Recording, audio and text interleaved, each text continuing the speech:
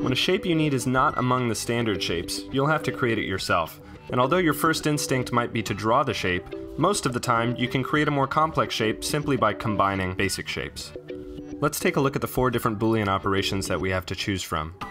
With two shapes overlapping and both selected, union will merge them together, creating the sum of the two shapes. Subtract will use the shape on top to delete from the shape underneath.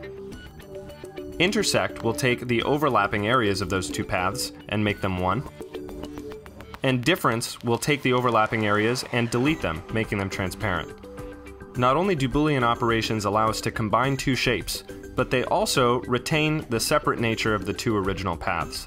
If I double click on a combined shape, the result of a Boolean operation, I'm able to select either of the subpaths and move them around. I still have two independent circles in this case. Each can be selected, manipulated, and the points can even be edited still. On my layers list, I can see that I have the oval subpath and the oval 14 subpath, both selectable and both still editable.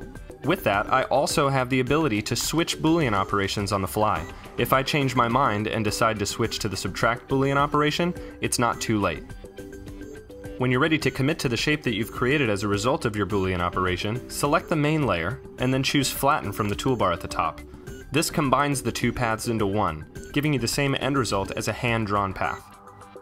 If you're coming from other design applications, you may be inclined to flatten your paths each time you use Boolean operations.